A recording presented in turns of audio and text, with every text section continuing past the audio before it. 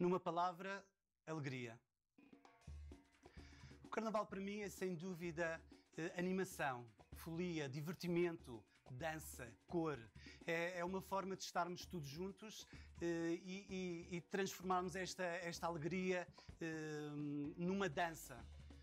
Falando um pouco na nossa escola, não é? Nós somos a trupe Sorrisos de Fantasia. Eh, nós não somos propriamente uma escola de samba. Eu costumo dizer que somos uma proposta artística alternativa, não é? Para também eh, dar eh, um diferencial no, no nosso cortejo e no Carnaval da Madeira.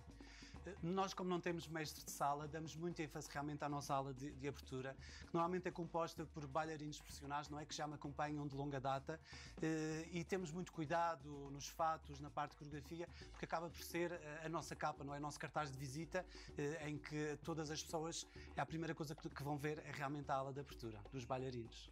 De forma que o fado não se use só uma vez, nós tentamos sempre ter mais espetáculos, não é? Nós também somos, somos uma ilha turística e sem dúvida temos algumas atuações em hotéis, de forma também de animar quem nos visita e também de verem um pouco de perto eh, tudo o que, é, o que é o Carnaval da Madeira.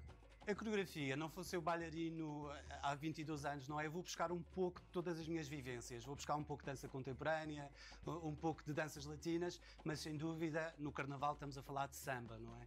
E então, sem dúvida que a samba é, é, é o ritmo, não é? É o maior, eh, é primordial ao fazer as coreografias. E tentamos fazer realmente sempre diferente em cada aula e há momentos em que toda a trupe dança igual para criar uma certa união e, e unidade em termos coreográficos. Nós, quando realmente chegamos ao fim do cortejo, há uma grande.